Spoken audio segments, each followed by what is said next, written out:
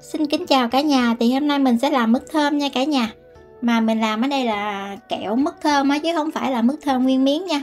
Kẹo mứt thơm cũng giống như kẹo mứt chuối bữa mình làm á cả nhà. Hồi sáng này mình đi chợ mình mua được 4 trái thơm. Thì hôm nay mình sẽ làm với 4 trái thơm này. Và bây giờ thì bắt đầu mình đi gọt thơm nha cả nhà.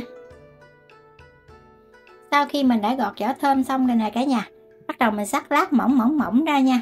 Còn mấy cái cùi này nè mình cũng sắc mỏng mỏng mỏng mỏng ra luôn. Mình bỏ vô luôn á, để khi mà ăn á chúng cái miếng củi thơm á, sực sực sực á, ngon lắm cả nhà.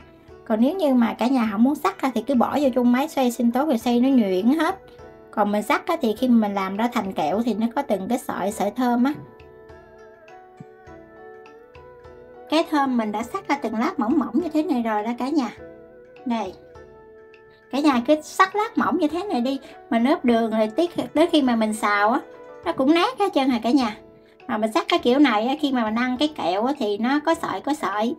Còn nếu như mà cả nhà thích ăn nhuyễn luôn thì cứ bỏ vào trong máy xay sinh tố xay cho nó nhuyễn luôn nha. Đây. Còn bên đây là mấy cái cùi thơm á cả nhà mình cũng sắc cục cục như thế này luôn. Để mà khi ăn cái kẹo mà trúng những cái miếng này á thì nó sẽ sực sực á cả nhà. Nó giòn giòn ăn nó ngon. Còn cả nhà không thích á, thì cứ xay nhuyễn cùng với thơm hết luôn. Đây. Xong rồi thì bây giờ bắt đầu mình đi ướp đường nha cả nhà. Đối với một ký thơm thì mình sẽ ướp 300g đường. Để mình cân coi cái này tổng cộng hết là bao nhiêu ờ, ký thơm. Ba trái thơm sau khi đã gọt vỏ xong thì mình cân ở đây được hai ký rưỡi đó cả nhà. Thì đối với hai ký rưỡi thơm thì mình sẽ ướp vô là 750g đường cả nhà ha. Một ký thơm là 300g đường. Rồi mình dằn thêm tí xíu muối nữa cho cái vị đậm đà nha cả nhà. Khoảng chừng hơn nửa muỗng cà phê muối tí xíu à. Cả nhà đừng cho nhiều quá nó sẽ bị mặn á. Rồi thì bây giờ mình sẽ trộn cho đường với thơm nó đều lại với nhau rồi mình sẽ để qua đêm đó nha cả nhà. Cái thơm mình đã ngâm qua một đêm rồi đó cả nhà. Mình ướp qua một đêm rồi á. Rồi bây giờ bắt đầu mình bỏ vô chảo mình sên ha. Mới lúc đầu thì mình cứ mở lửa bình thường nha cả nhà. Đây. Cho nó sôi cái lửa bình thường đi từ từ cho nó, nó sắc xuống nó kẹo từ từ nó đặt rồi mình hãy bớt lửa lại. để tiết kiệm thời gian đó mà. Sôi nè cả nhà à, cái để nó lớn bình thường cho nó sôi đi. Nó nó cạn nước từ từ rồi mình không bớt rửa lại. Lúc này á lâu lâu mình lại mình sơn cái là cả nhà không cần phải đứng mà sơ hoài liên tục. Lâu lâu mình thấy cái để có khi mà mình sợ nó bị khép tích á. Lâu lâu sơn cái lâu lâu sơn cái được bây giờ thì nước nó cũng có sắc xuống bớt rồi đó cả nhà do cái thơm của mình á mình thử á, nó không có chua cho mấy á nên mình thêm vào nước tắt á cả nhà. Mình thích ăn chua chua đó. Để cả nhà cứ nêm cái thơm của mình ha nếu như mà cảm thấy ra đủ đủ chua thì thôi mà chưa đủ thì mình cứ cho thêm chanh hoặc tắc nha. Lúc này thì cái nước thơm nó cũng đã sắc xuống sền sệt ra cả nhà thì mình bớt lửa mình để cái lửa trung bình thôi. Bây giờ thì nước thơm nó cũng đã, đã sắp cạn nhiều rồi đó cả nhà. Còn ít á, thì lúc này mình đã bớt nhỏ lửa nha mình để lửa nhỏ thôi, để từ từ cho nó rút cái nước thơm á cả nhà. À mà quên nữa, do mình không có thích ăn gừng nên mình không có bỏ gừng vô nha cả nhà. Còn nếu như mà cả cả nhà mà có thích ăn gừng thì gừng mình cắt sợi nhỏ nhỏ rồi mình bỏ vô nha, giống như kẹo chuối vậy đó. Mà mình không thích ăn nên mình không có bỏ vô. Lúc này thì cái thơm nó bắt đầu dẻo từ từ đó cả nhà, mà cái thơm nó càng dẻo thì mình xào nó càng nặng tay nha sau khi mà mình xào, mình thấy mà cái nó nặng tay nhiều rồi đó, cái nhà cái thơm mà nó có cái độ dẻo rồi đó, thì bắt đầu mình lấy một cái chén nước lạnh, rồi mà mình dứt một miếng thơm mình bỏ vào, mình để tí xíu cho cả nhà, rồi mình lấy lên, mình bóp thử. Nếu như mà cái thơm nó đã dẻo rồi đó, cái độ dẻo, nó có cái độ dẻo, nó dính lại với nhau là được đó cả nhà. Đây, cả nhà bóp thử coi, nó dẻo là được à sau khi ngâm cục thơm trong nước, mình thấy nó đã đủ dẻo được rồi, ok cả nhà ha. Để chắc ăn thêm cái nữa, mình lấy cục nhỏ thế này đây mình bỏ vô trong ngăn mát tủ lạnh. Khoảng chừng 5 phút sau, các bạn lấy ra ăn, thấy mà cái độ dẻo nó vừa đủ ok, mình thích rồi, thì tắt lửa nha cả nhà. Do mình thích ăn cái mức thơm này nó hơi mềm tí xíu, nên mình xào nó mềm, không có dẻo cho mấy nha cả nhà. Còn cả nhà mình thích ăn dẻo, thích ăn cứng thì tùy mình nha. Thì cả nhà cứ thử đi, thử làm sao mà thấy cái độ dẻo của, vừa đủ, vừa đúng với cái ý của mình là được rồi cả nhà. Còn hôm nay mình xào thì nó hơi mềm tí xíu. Mình thích ăn mềm ăn mềm mà nó hơi dính tí xíu, kiểu như là mứt mãng cầu vậy đó cả nhà, chứ không phải là cứng.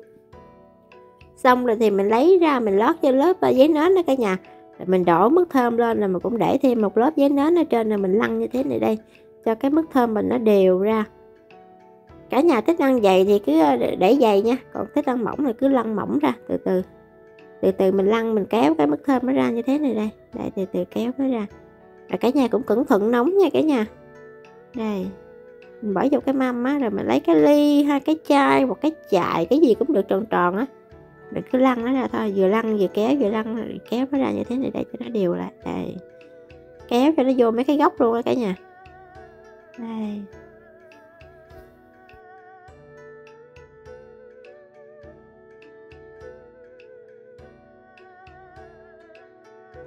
Do mình thích ăn cái mức thơm này, nó hơi mềm để nó dính nha cả nhà cái nhà càng xào nó càng dẻo thì nó càng bớt dính lại, còn nó còn hơi mềm vậy thì nó dính nhiều. Hôm nay mình làm, mình chia làm hai phần đó cả nhà. Một phần thì mình để ăn dẻo như thế này thôi, còn một phần thì mình sẽ gắt mè với lại đậu phộng lên đó cả nhà. Thì cũng giống như kẹo chuối cả nhà, mình gắt mè lên trước xong rồi mình rắc đậu phộng lên.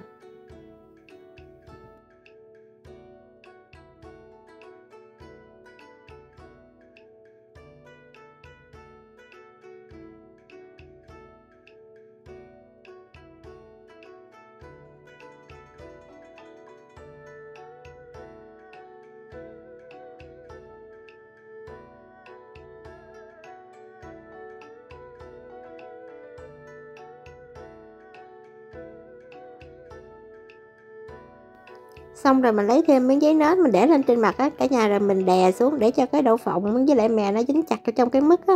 Chứ thôi mình rải lên trên vậy không nó đâu có dính vô đâu, mình phải đè nó xuống để cho nó dính nha. Đây, lăn lăn nó xuống, đè nó xuống.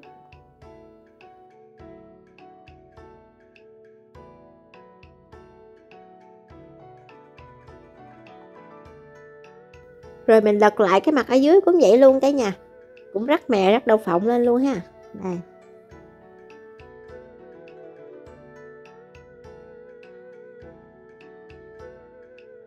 Rồi cũng lấy giấy nến đậy lên trên này cũng lăn cho đậu phộng cái mè dính xuống nha cả nhà.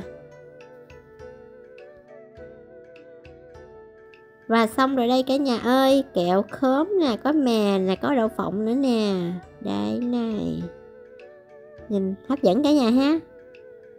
Sau khi mà để kẹo qua đêm á, đã nguội hoàn toàn rồi cả nhà. Thì bây giờ mình sẽ cắt ra và mình đi gói nha cả nhà. Cả nhà thấy đó, do cái thơm mình xào nó hơi dẻo nên nó dính nhiều lắm cả nhà này, nó dính, nó dẻo mà. Do mình ăn dẻo mềm nên nó hơi dính nhiều cả nhà. Còn cả nhà xào mà dẻo cứng lên tí xíu thì nó sẽ bớt dính ha. Do bên này mình không có mua được cái giấy gói kẹo nên mình gói bằng cái lắp á cả nhà.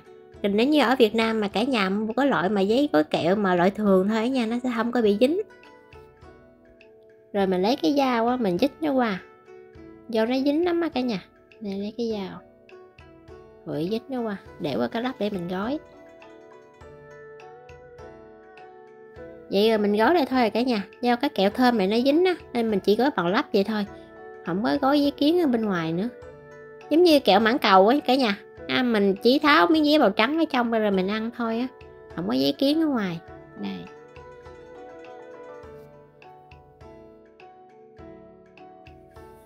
còn cái phần mà có đậu phộng với mè thì đỡ dính hơn chút á cả nhà mình lấy dao mình cũng cắt nó ra rồi mình gói. Cái kẹo chuối hay kẹo thơm gì cũng vậy đó cả nhà. Mình thích ăn nó mềm mà nó dẻo dẻo à chứ không có thích ăn dẻo quá. Đó nhưng mà dẻo quá thì nó sẽ bị chín răng á cả nhà. Còn đối với kẹo chuối á, mình làm nó hơi mềm tí xíu nhưng mà nó có nước cốt dừa nó sẽ không có bị dính. Còn cái thơm này á, không có nước cốt dừa nên nó nó hơi dẻo nên nó hơi bị dính đó cả nhà. Nó dính cái giấy gói thôi à cái viên kẹo mà dày mỏng lớn nhỏ thì do tùy theo ý mình nha cả nhà. Nếu như cả nhà thích dày thì lúc cán mình cán dày tính như thích mỏng thì mình cán mỏng. Hoặc là mình thích nó to, nó bự hay sao đó thì cái lúc cắt á. Mình muốn thích cái miếng kẹo to thì mình cắt to, muốn dài mình cắt dài cả nhà ha. Và đây là thành quả của mình đó cả nhà. Cái này thì là mứt thơm không có mè với đậu phộng. Còn à, cái đây là mứt thơm có mè với đậu phộng đây cả nhà xem cái miếng thơm nè. Nó trong, đẹp, dễ sợ luôn cả nhà ha. Ăn nó chua chua, ngọt ngọt, ngon lắm á cả nhà. Mình không có xài đường nhiều, với lại mình thêm tắc nữa nên nó có cái vị chua cả nhà. Nó vừa ngọt, vừa chua, vừa dẻo, vừa mềm, ngon lắm cả nhà ơi. Còn cái kẹo màu này thì là kẹo chuối đó cả nhà. Kẹo chuối hôm bữa mình làm á. Đây. Vậy là mình đã hoàn thành xong cái món kẹo mứt thơm rồi đó cả nhà cảm ơn cả nhà đã xem và ủng hộ mình. Xin chào và hẹn gặp lại. Cảm ơn cả nhà rất là nhiều. Chúc cả nhà một năm mới thật nhiều niềm vui và hạnh phúc vạn sự như ý nha cả nhà.